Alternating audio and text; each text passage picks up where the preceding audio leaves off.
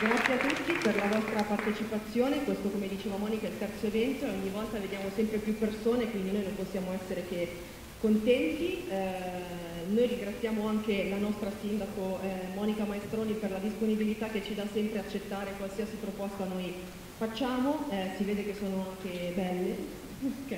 E diciamo che la risposta del, del pubblico è positiva, quindi noi siamo molto contenti. Grazie, buona serata, buon ascolto.